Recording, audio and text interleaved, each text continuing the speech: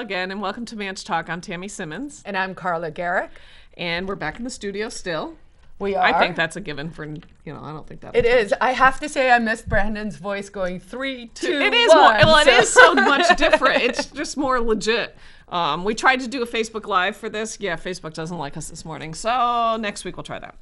Um, so Been a crazy busy week if you are someone who works on police accountability. Or pretty- if you live anywhere, because apparently, I mean, we talked about this last week on the show about you know how horrific it was that the police killed this man in Minneapolis and whatnot. Um, since then, there's been protests all over the country. Uh, protests here in New Hampshire. Um, I think there was one yesterday in Laconia. I don't know. I can't keep up. Um, that's all going on. Um, then we're and people. I don't really I mean, I have to say, I was I was deeply moved. I, for some reason, I'm not getting notifications for these events, so I. I don't know why the the algo is not making sure you know the right people see it. And and I want to talk to the people. So if someone's watching this and they know how how they're mobilizing so many people, but I saw a photo from Saturday in Concord There was like a thousand people or something. blew my mind. It is the most people I have ever big. seen And I- up at Concord, and good for you. Yeah. Good for getting out Oh, there I- and and raising your voice. You know, there's absolutely nothing wrong with protesting. That is something. Oh, except if you're protesting Well- the reopen because that uh, too. you know But- I got a lot of hate for that. they, I mean, apparently, all we needed to move the COVID needle to, in our favor was some protesting and some riots, because and and obviously George Floyd's funeral, because there were families that have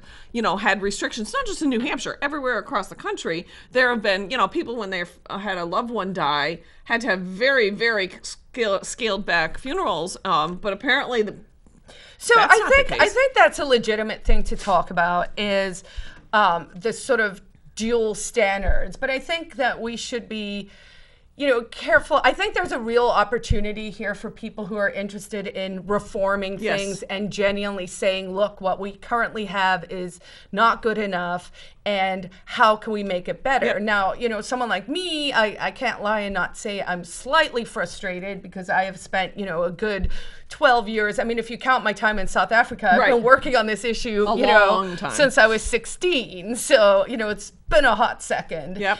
And um and so, you know, I want to I want to applaud and, and and really, you know, engage the people who are out there doing it, but also I kind of want to do a little bit of finger wagging. Mm, and saying, well, why, where why wasn't anybody listening all along? well, why, well, that of course. I mean, and I think maybe that's just the nature of you I know, b- doing the right thing. But you know, I say have jokingly because I have my podcast, "Told You So," and I feel like maybe people who who look at these issues from a first principle mm-hmm. perspective, by which I mean we have certain rights as human beings, right? Uh, regardless of what color your skin is or your race is or whatever, these are fundamental rights, which is why someone like me went out to both the reopen rallies and Black Lives Matter, right?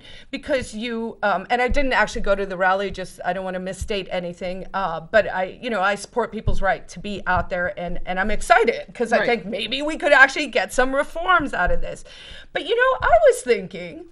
Can you imagine if I took the hate mail, hate mail, like like I couldn't even utter the words on the show of what people said to me when I went out and said, "We as free human beings have the right to move freely." At all times, there is no emergency, in my opinion, that can ever justify one group of people, we'll call them the state, telling other people what they're allowed to do with their lives. That is some form of slavery, and I'm just not into it.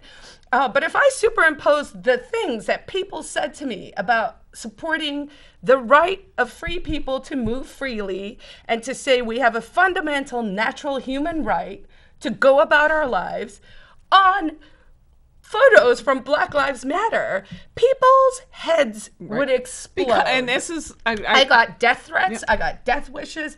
I got all of that stuff. And I'm like, but then in, in the course of less than a month, it went from these germs and you're an awful human being if you do these things to these germs don't matter well, and even anymore. even worse. It's not even like it's not just that that's a community attitude because, like you, I do think the the community in general, very broad, can shift focus from this outrage to that outrage really quickly, and that I one mean, goes it's away. a little terrifying It how is. fast it's happening. Um, right? But I did read, and I don't know, I don't have the name or anything handy, but I did read different articles where um, an epidemiologist from John Hopkins, who we're listening to through this crisis, actually said, "Well, yes, the the virus is very, you know, it's very important, but the protesting is more important."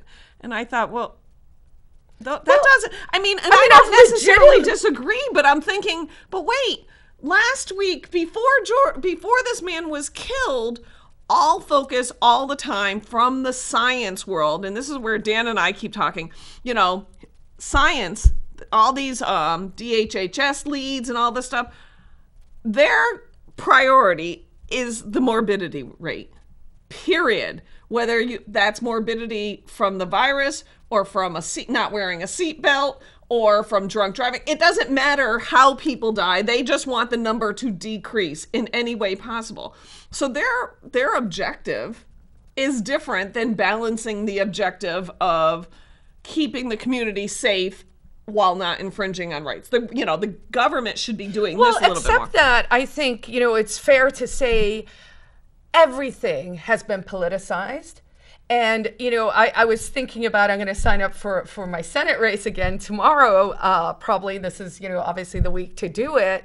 But you know, I was thinking about like what could I make of that sort of a catchy slogan, and I was like, you know what? If you think politics has taken over too much of your life, then I'm your gal, right? because you know, I look at when it, when I when you pick up your phone, there's all the push stuff of COVID. Then there's all the report this post. You know, it's like uh, like you go on Facebook now, or, and it's like. You know, like like we're being ruled by the Stasi, which was the secret police, you know, in, in Poland and in Western uh, West Berlin back in the day.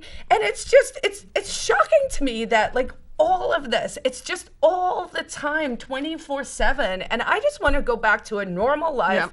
where things are in balance. And the reason why we're so caught up in what the government is up to is because it's too big. It is harming everyone.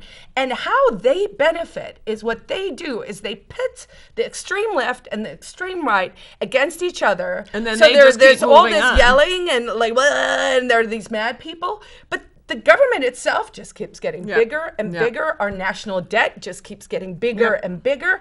Like we're in deep, deep trouble. And I think that people who are you know the, the the happy middle maybe even right like all of us who are like okay like none of this seems right anymore right, right. uh, should just say enough we want reform Yep. we want the police to change we want our cities to change and i want my pools open mayor Well, craig that's th- okay. So let's shift to that. So last week, um, Manchester Republican Committee put out um, some information that there is a private pool or a private club in the north end of Man- I assume in the north end of Manchester. Um, it's like eleven hundred dollars a year for a membership. Nice. Um, I assume that's a family membership, but it's still that's not like a twelve dollar a year thing. Um, not my planet fitness it has a pool in it and um, manchester health director anna thomas who was the one testifying that you know oh my god we can't open the public pools um, is working with this private uh, club to get their pools open. And you know like there's discussion. People go oh I, that's discrimination no actually that's not discrimination. There is nothing to say that a private club can't charge whatever they want for their membership. Oh sure yeah. you know that's the way the world works. I can't afford to No, buy but there is discrimination When the a, government- when, when a public health official is saying germs don't count for the rich people, but germs do Well, count so- for, I believe, use the term those. well that's what i want to i want to read the words so that i do not misstate. Um, this is a transcription of anna thomas's she's the city health director's um, speech before they voted on not opening the pools um, I think the reality is that it comes back to whether or not we can control the environment and whether or not you can expect children who won't comply with most things on most days, especially in those city pools, would abide by those guidelines. I'm whiter than white, and I take high offense when somebody says, especially in those city pools, because I hear that as so this private pool over here in the more affluent neighborhood, those children might listen to guidelines, but those children and where is the outrage from the left who is outraged by everything that everybody possibly writes or says to say, wait a minute. So are you saying that the kids that go to the hunt pool in the inner city, if we can call it an inner city in Manchester, I mean it's hardly inner city, but you know, in the center city can't follow guidelines or somehow are more are not able to manage, but the kids in the North End whose I mean- families can pay eleven hundred dollars for a membership. I, I, I think there are two points that we should talk about there. The one is this sort of idea, you know, um, can can can we just stop with the control of others? Can we get back to people minding their own business and keeping their eyes on their own plate? And this whole idea of oh, we need to control them and they won't be able to listen, so therefore they're not allowed to blah blah blah is ridiculous. You know, it's just it's it's it's it's, It's- actually wrong and we've created this really sick culture It where is. it's all about snitching it's all about control. Well- these control freaks think they can tell people what to do. How about we go back to choice?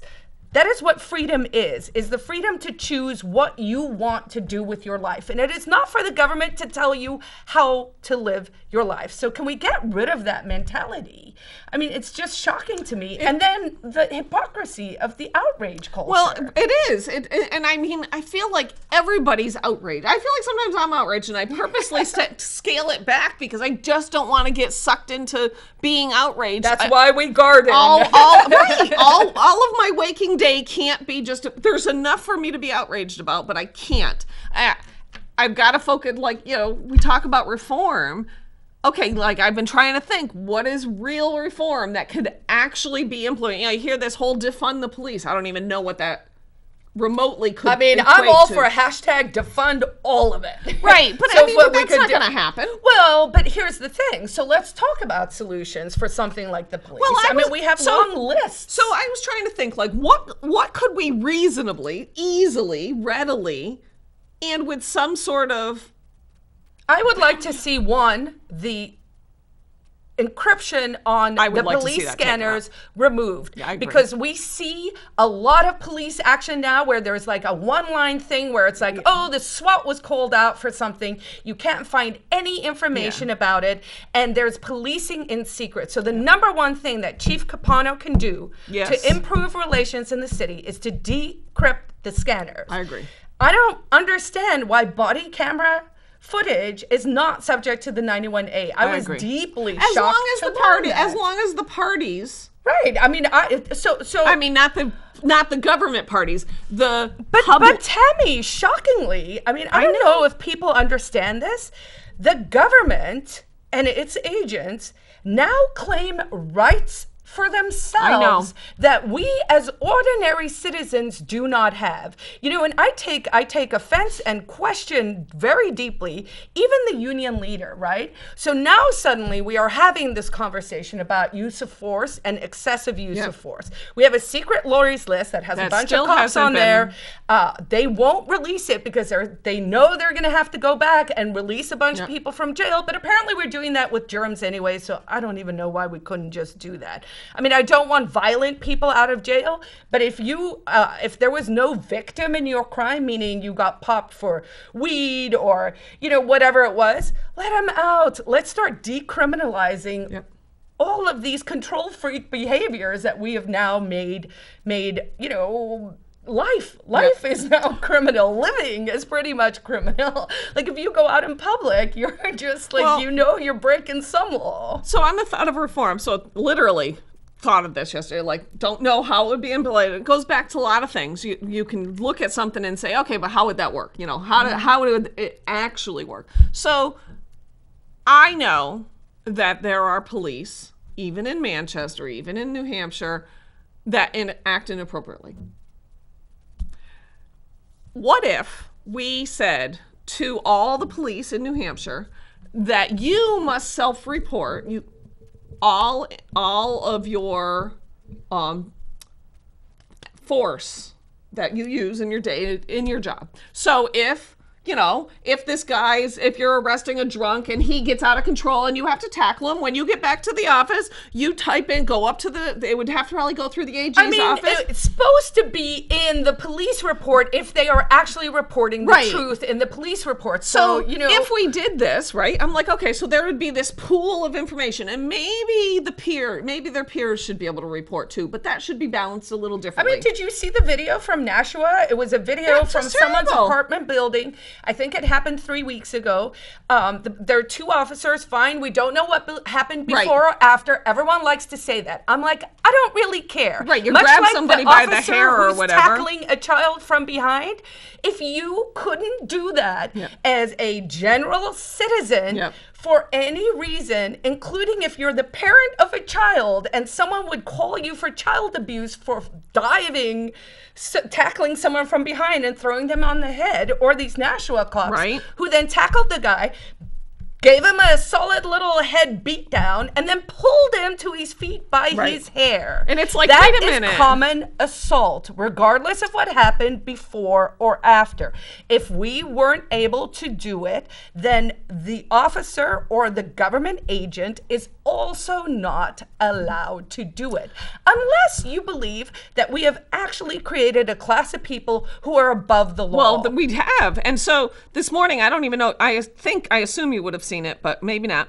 So, um, Greg Moore, who is has his own layer of frustration because he used to work for Department of Health and Human Services, and he keeps saying, you know, the more bad information and bad decisions being made by these people, he goes, I spent years building trust with the community, and now p- nobody's listening to the Department of Health and Human Services because they don't, they're no longer feel confident. I know. So there was an um, article in Reason that came out this morning showing um, several police officers slashing car tires during Minneapolis protests, and the police admit to it. They say um, they state patrol troopers in Minneapolis. Or in Minnesota, strategically deflated tires in order to stop behaviors such as vehicles driving dangerously and at high speeds in and around the And, protesters. and guys, we're not even making this up. I watched the footage. It's It's, literally like lines of of. Uh, I believe these ones were actually in camo. Yes. So.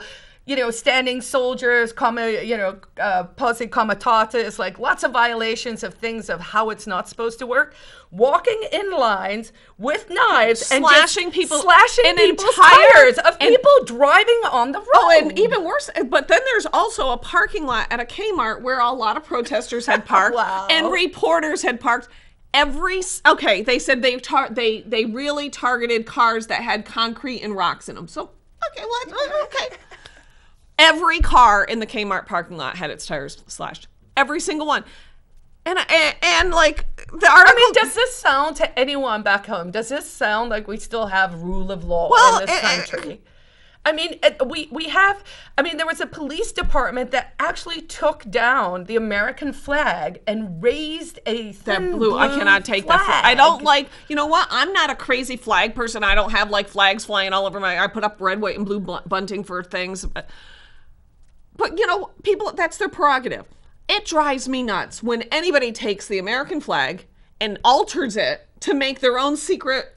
Their own private group flag. Come on, come up with your own freaking design. Well, and, and if you want to be terrified, go Google this. There are actually photos out of, I believe it was New York State, right? And this was under Bloomberg, the billionaire who's, uh, you know, trying to take everyone's guns away, the last defense that we actually have against a lawless, unjust, um, you know, system. can't right. that he just said that. but- he just said 19 minutes. I'm like, we've been talking way longer than 10 minutes. um, you know, is is um, with Bloomberg, who actually said when he was mayor of New York, he said, you know, I have this. I think mayor of New York. Oh yeah, Uh, New York. New My brain yeah. went state. Sorry. Um, so he he he bragged about being uh, in charge of the, I believe it was the sixth or the eighth largest standing army in the world, Yeah. meaning their police force was so large that it competed with countries, and that these officers now do not wear name tags at all. You cannot identify them. And their uniforms are all uniforms with the thin blue flag on there. And I'm like, guys, That's if not- this is not like this is one, It's it's, not, not- normal. You all stay at home and you you know they they play you because either it's Trump's fault or it's Obama's fault or whoever we have next it won't be Biden.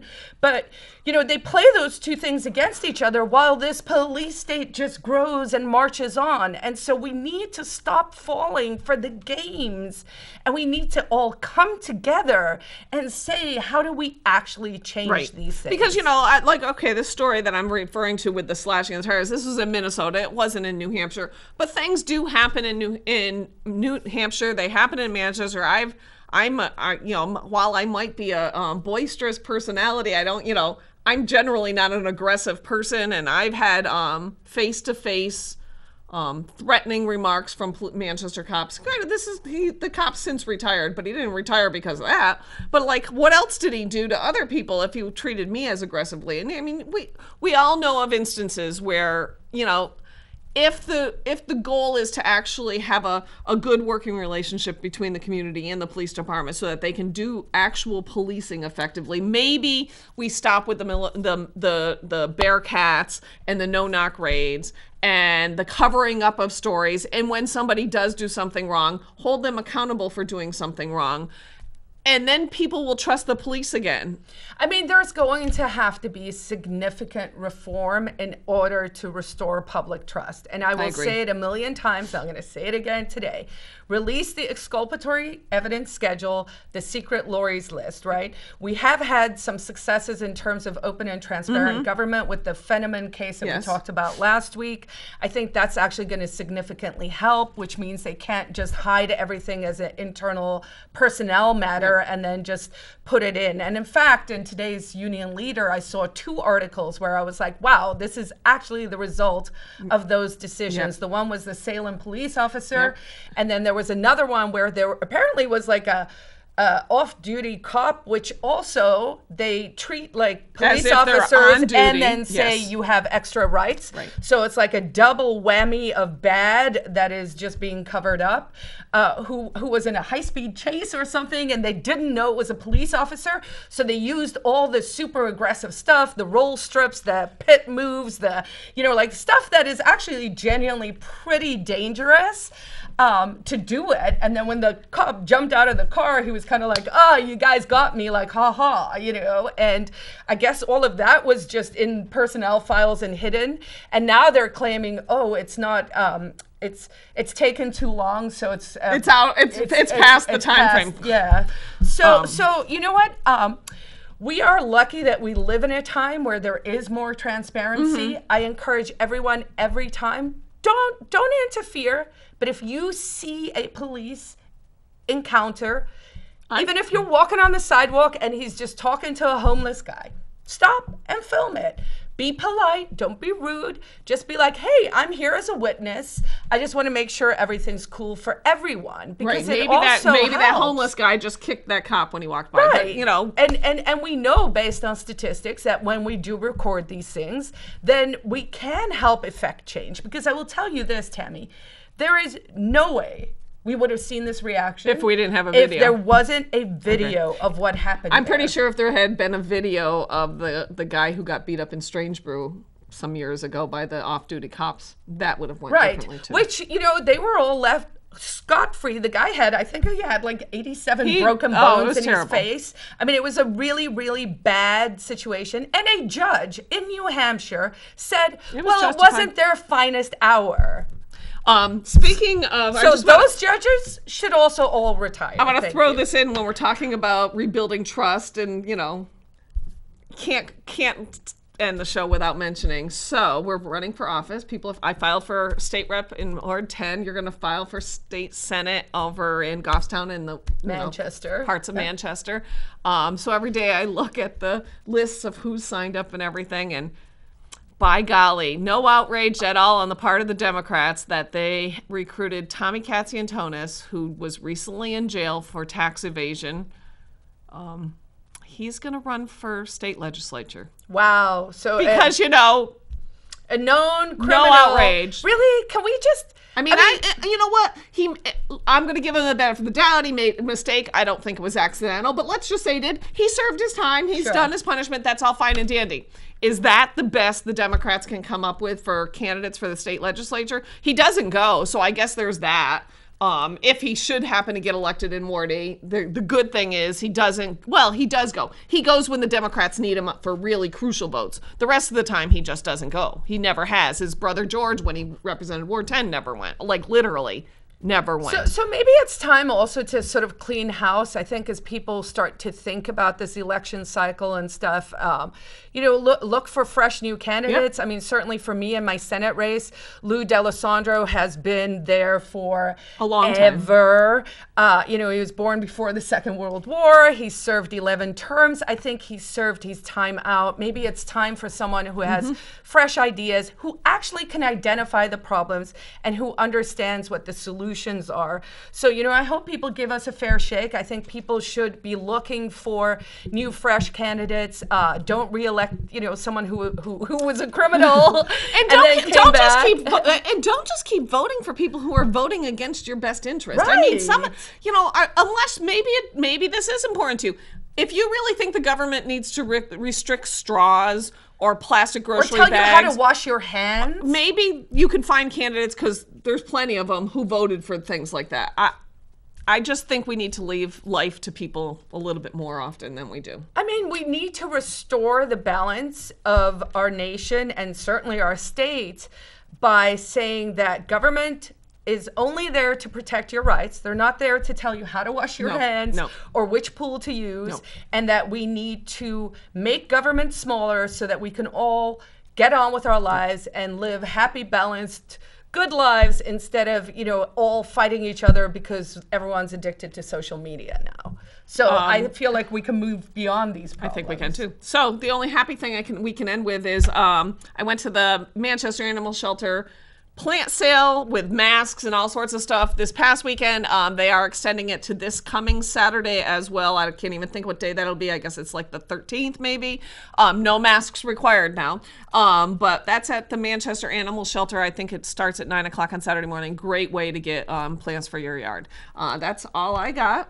Uh, enjoy the weather. It's nice 80s. I mean, it's a little cloudy, but it's beautiful. I mean, we're not even halfway through June yet, so this is awesome. Yep. Anyways, we'll see you Summer's next, coming.